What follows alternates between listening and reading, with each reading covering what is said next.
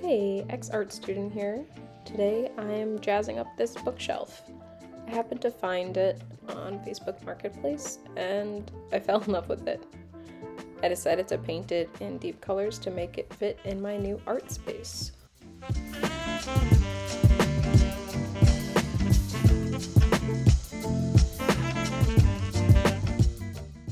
I'm no expert with spray paint as you can see, but I thought it would be an easy way to repaint this piece.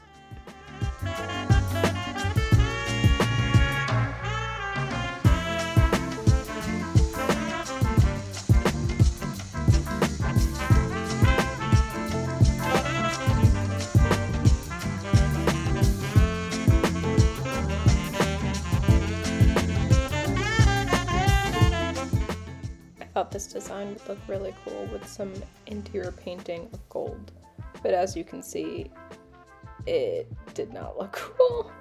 I just didn't have the patience or the right brush to do this. I'm sure if I laid down tape and paper, it would have looked a lot better, but I am not that patient and didn't care enough. So I wound up repainting it. But then my paint started to wrinkle and warp, so time to scrape it off.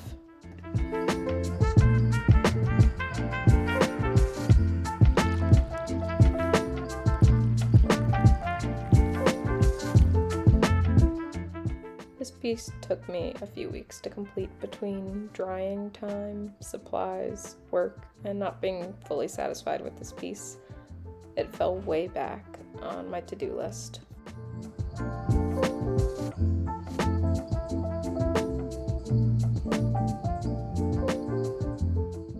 Eventually decided a brown exterior and gold interior would be a good fit for this piece. Even if it wasn't perfect, I still thought it was fun and would be a great addition to the new room. The world stops turning.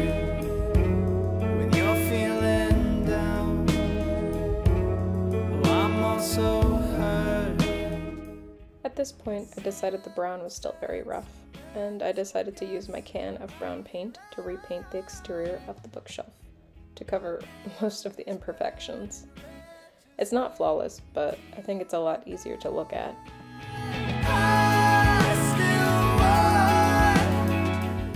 Now that it's dry, it's time to fill up the bookshelf.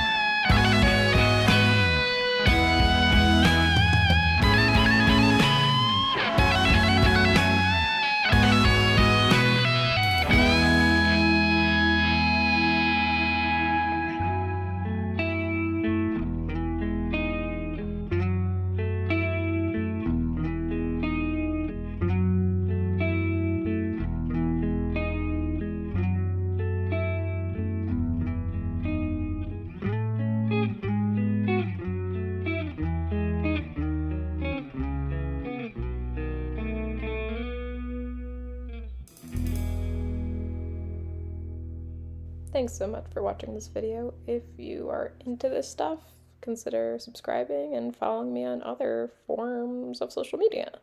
Thanks, bye.